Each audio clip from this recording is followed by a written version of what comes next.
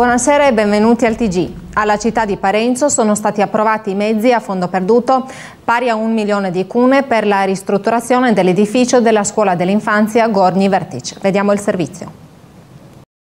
La città di Parenzo si è candidata al concorso pubblico per il cofinanziamento della ristrutturazione energetica degli edifici con la caratteristica di bene culturale, dal Fondo per la tutela dell'ambiente e l'efficienza energetica. Candidandosi al concorso per il finanziamento della preparazione della documentazione, pubblicato nel 2018 dall'Agenzia regionale istriana per l'energia, la città di Parenzo ha realizzato il diritto al finanziamento del 100%. La città ha completato la preparazione della documentazione e l'elaborato di sovrintendenza.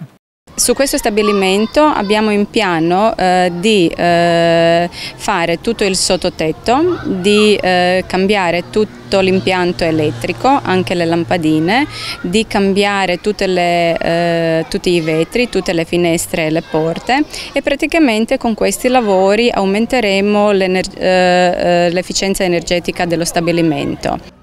Il progetto dunque comprende i lavori di bonifica energetica strutturale della sottostruttura del tetto, l'isolamento termico del soffitto inclinato e del pavimento verso la mansarda non riscaldata, lavori di copertura e riparazione del tetto, lavori di sostituzione della falegnameria completa, lavori di riparazione completa dell'impianto di installazione elettrica e sostituzione delle lampade di illuminazione, nonché il servizio di supervisione tecnica dell'esecuzione dei lavori. Poiché per motivi restrittivi di conservazione riguardanti gli immobili energetici, la ristrutturazione della facciata non era un costo accettabile nell'ambito di questa gara d'appalto, la città per questa parte dei lavori richiederà ulteriori fonti di cofinanziamento. Parenzo è la prima città ad adottare un approccio serio nell'esaminare i problemi di ristrutturazione degli edifici che rientrano nei beni culturali. Si tratta di un progetto costoso e complesso, di lunga durata perché tali progetti devono ottenere il consenso dei conservatori. Il consenso della sovrintendenza è stato ottenuto, la documentazione tecnico-progettuale era pronta, in quanto questa era una delle condizioni per potersi candidare al concorso, ha sottolineato la direttrice Lalic. Pia Casa di Ricovero, o come la chiamiamo noi oggi Gorni Vertic, è sicuramente uno degli asili preferiti tra le generazioni di bambini e genitori. Quindi la ristrutturazione significherebbe molto non solo per l'asilo e i suoi bambini, ma anche per l'intera città, per la sua posizione nel centro città e per il suo significato culturale e storico, ha dichiarato il sindaco di Parenzo Loris Persuric. La città, ha sottolineato il sindaco, continuerà a candidarsi a gare d'appalto e inviti pubblici, al fine di alleviare il bilancio della città e realizzare tanti progetti. La scuola dell'infanzia Gorni Vertic, conosciuta come Casa Pia, ha una lunga storia. Fu la prima casa di ricovero in Istria, inaugurata nel lontano 1910. L'edificio fu costruito come investimento capitale del comune di Parenzo, per il quale anche la famiglia nobile dei Polesini partecipò con fondi importanti. Dopo la seconda guerra mondiale, l'edificio fu convertito in casa dello studente ed infine negli anni 70 diventa scuola dell'infanzia. La struttura oggi conta 18 dipendenti e fornisce il servizio di scuola dell'infanzia e asilo nido per 110 bambini, per 5 gruppi di scuola dell'infanzia e un gruppo di asilo nido. Nel prossimo servizio vi facciamo conoscere Roland Bugnar, una persona disabile al 100%, a cui Matte Rimaz ha cambiato la vita, regalandogli otto anni fa una batteria che gli ha dato la libertà e gli ha permesso di fare più di 2500 km. Roland Bugnar è un 31enne che vive con la sua famiglia a Veprinaz. Il suo corpo soffre di distrofia muscolare spinale sin dall'infanzia. Roland e i suoi genitori hanno scoperto della malattia quando lui da piccolo avrebbe dovuto fare i suoi primi passi, ma questo non è mai successo. I muscoli diventano sempre più deboli e le conseguenze sono gravi. La sfida più grande è la stabilità mentale e l'accettazione dei cambiamenti che si verificano, ci racconta Roland. La più progressiva è la distrofia muscolare respiratoria, che è anche la più grave. Attualmente 5 persone a Fiume hanno questo tipo di distrofia e purtroppo molto probabilmente non vivranno oltre ai 30 anni. La giornata della consapevolezza di questa malattia a Fiume si manifesta con i monumenti e fontane in centro città illuminati di rosso. L'Associazione per i malati di distrofia muscolare della regione litoraneo-montana conta 86 membri colpiti dalla malattia che hanno dai 5 agli 87 anni. La soddisfazione più grande è il nuovo farmaco che influenza la progressione della malattia. Il farmaco si dimostra più efficace nei neodiagnosticati, cioè nei giovani e nei bambini. On je puno vremena upotrebe Il farmaco è in circolazione da poco, quindi non possiamo dire dei risultati per certo, ma pare che aiuti individualmente chi lo usa. Sicuramente si può vedere un cambiamento, ci racconta Roland. L'associazione fornisce supporto ai membri attraverso progetti del Mistero e del Fondo Sociale Europeo e con il sostegno della città di Fiume e della regione vengono finanziati assistenti e supporti didattici e recentemente la tanto necessaria fisioterapia. Sentiamo qualche parola della fisioterapista Antonia.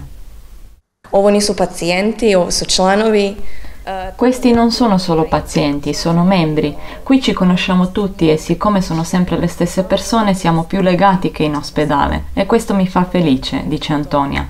Sono una persona creativa e ho già mille idee che in accordo con i soci trasformerò in terapie. L'obiettivo principale è motivare i membri, quelli che possono farlo, a lasciare le loro case, stabilire contatti sociali e a ricevere la terapia necessaria. Abbiamo procurato l'attrezzatura necessaria e abbiamo anche installato una gru che per ora ha i binari solo nei bagni, ma abbiamo in piano di installarli anche nelle altre stanze per permettere ai membri di spostarsi all'interno della struttura, ci spiega ancora Antonia.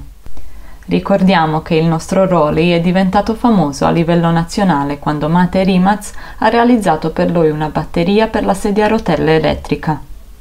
unutar tog perioda uh, prešao sam s tim kolicima. In questo periodo ho fatto 2500 km nella mia zona e il terreno qui è ripido. La batteria normale sarebbe durata 6 mesi, ma questa dura ormai da 8 anni, ci dice Roland.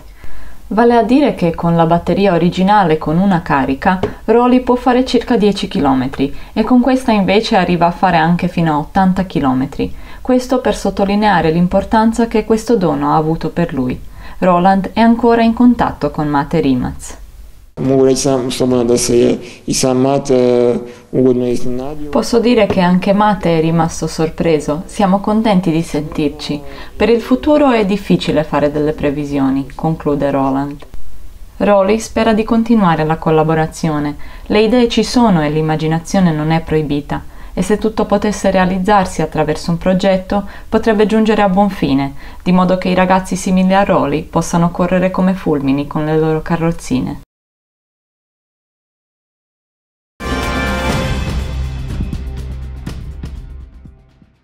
Notizie flash. A Parenzo e nel comune di Visignano inizia la distribuzione dei contenitori individuali per la raccolta differenziata. Verranno distribuiti quasi 30.000 contenitori per la carta e il cartone, gli imballaggi in plastica e vetro che consentiranno a tutti gli utenti di dividere i rifiuti sulla soglia di casa. Il 23 settembre presso la Casa Tartini a Pirano sarà organizzata la promozione dell'iniziativa Up Lumi nell'ambito del progetto L'età dei lumi. Giuseppe Tartini, Giancarlo Rinaldi e la cultura del Settecento.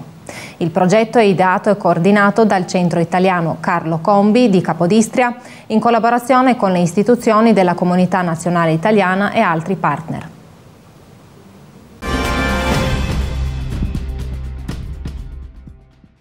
A Fiume il mese di settembre ci porta tanti eventi e manifestazioni, tra cui la quattordicesima edizione della Fiera del Libro e del Festival della Letteratura Vrisac. Nel servizio che segue sentiamo come si svolgerà l'evento e chi è stato premiato quest'anno. L'apertura ufficiale della fiera letteraria Brissac si è tenuta la sera del 12 settembre nel cortile del Palazzo del Governo e in quell'occasione è stato assegnato il premio del valore di 100.000 cune per il miglior romanzo inedito di quest'anno. C'erano più di 142 manoscritti di generi diversi in concorso, spiega la Pogacnik, dicendo che è stato estremamente difficile scegliere il migliore, ma la giuria alla fine ha premiato la raffinatezza stilistica e l'approccio unico al pensiero prosaico. Il romanzo dal titolo Figlio, andiamo a casa, dell'autore fiumano Ivica Pertegnacia, affronta la perdita, la speranza a breve termine e la memoria. La voce nel romanzo è allo stesso tempo fanciullesca, ma anche la voce matura di un uomo che prende decisioni difficili. I tre personaggi nel romanzo non hanno nomi, solo i loro ruoli familiari che trascendono il destino. È stato molto importante per me scrivere questo libro, afferma l'autore. Ha saltato la fila ed è arrivato nel momento in cui stavo scrivendo un libro di racconti, ma poi ha preso la mia attenzione e la mia scrittura si è rivolta a questo. L'ho scritto velocemente, dice ancora Pertegnacia. Il primo premio ha portato all'autore la pubblicazione del manoscritto, un premio di 100.000 cune e anche la traduzione del libro in lingue straniere. Questo è il secondo premio per Pertegnacia, che nel 2014 ha vinto il primo premio per il romanzo Birdo. Il Vrisak di quest'anno avrà un ricco programma con più di 40 eventi in 8 giorni, ci spiega Drago Glamusina. Avremo 60 scrittori ospiti e spero proprio che ci divertiremo con la letteratura. Il tema di quest'anno è un fiume di poesia. Reputiamo che in un momento storico del genere, di estrema insicurezza, la poesia sia un modo per ritornare alle origini ed esprimere le nostre emozioni più profonde in maniera autentica, spiega ancora Drago Glamusina. Negli autobus dell'autotroll in centro città i passeggeri potranno leggere la poesia dai manifesti.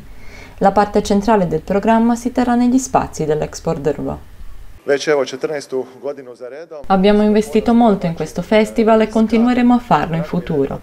Il sindaco di Fiume conclude dicendo che con orgoglio e soddisfazione il Vrisak si organizza a Fiume da ben 14 anni.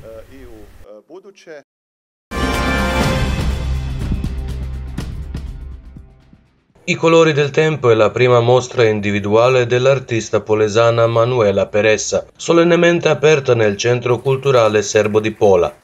La mostra è una selezione dei suoi recenti dipinti realizzati in tecnica dell'acrilo su tela.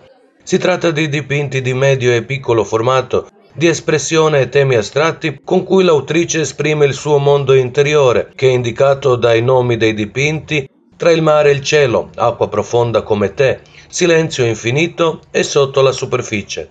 Sono contentissima che ho finalmente realizzato il mio sogno perché era un, desiderio che avevo già da tanto tempo. Eh, come ho detto la, la, mostra è la mia prima personale e, ed è composta dai lavori che ho fatto negli ultimi due anni Siccome la mostra era in eh, piano l'altro anno, per via del Covid è stato tutto rimandato per quest'anno, così che ho avuto anche il tempo di arricchirla con altri lavori e ecco, adesso li presento tutti quanti qua.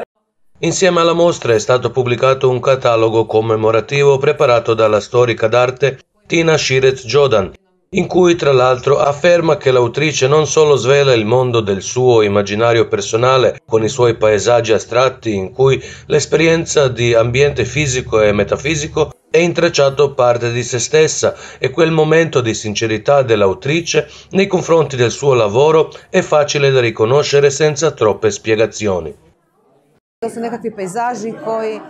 Questi sono alcuni paesaggi che ci associano ad alcuni sorci di mare i colori che usa sono estremamente chiari, linee molto chiare e decise, composizioni equilibrate, colori di base predominanti, per lo più blu e rosso, con piccoli accenti di bianco e nero. Per un'autrice, la quale questa è la sua prima mostra individuale, è davvero un'opera meravigliosa che inizia un nuovo viaggio in una serie di nuove mostre individuali e le auguro buona fortuna. Nelle sue opere, aggiunge Shirez Jodan, si può riconoscere la traccia di un lontano esempio del grande maestro Edo Murtic. Concludiamo la stagione estiva con la mostra I colori del tempo di Manuela Peressa. Lei è una grande artista, con un'energia e un entusiasmo eccezionali. È una pittrice amatoriale, ma ha un'eccezionale sensibilità per l'arte e questo è esattamente ciò che dimostra questa grande mostra. Manuela è un'educatrice laureata, è un designer di interieri e realizza anche gioielli unici e dipinge da quando era bimba. Dove trova l'ispirazione per le sue opere, Manuela spiega.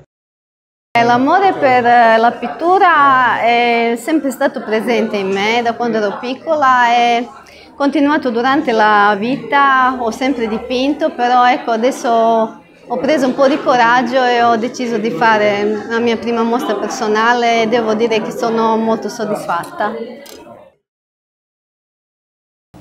Ed è tutto, grazie per averci seguito, buon fine settimana.